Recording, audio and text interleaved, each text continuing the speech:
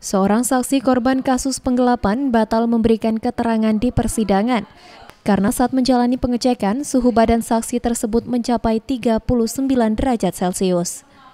Akibatnya, keterangan saksi bernama Santi tersebut terpaksa dibacakan di persidangan oleh Jaksa Penuntut Umum Kecari Jambi.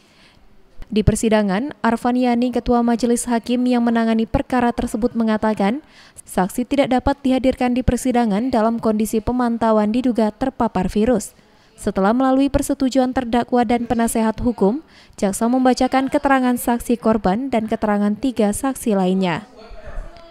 Sementara itu, penasehat hukum terdakwa Helmi, Rosdiana mengatakan tidak keberatan jika keterangan saksi dibacakan, mengingat kondisi saksi dalam kondisi tidak memungkinkan hadir di persidangan. Dirinya menambahkan, saksi tersebut baru pulang dari Tanjung Jabung Barat.